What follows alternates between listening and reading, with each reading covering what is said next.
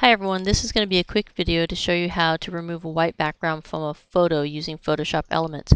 First you need to open your image and then you'll go to the image drop down menu and select Magic Extractor. This opens up a new pop-up window. First you want to select the foreground brush and make um, a note of everything that you want to keep. You can draw some lines, you can just make dots on the section that you want.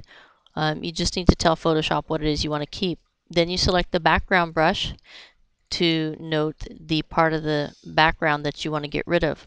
Once you're happy with that, you select the preview button and see if it's been able to catch everything. If not, you can come over here and use the editing brushes to add or subtract areas that you want to add or delete.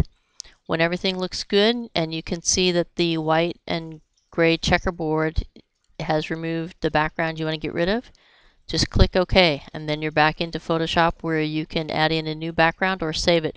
When you do go to save this, if you want to save it with a transparent background, need to make sure to save it as a file format that will actually support transparent backgrounds such as PNG. Once you do that, you're all done. That's how simple it is. Thanks for watching.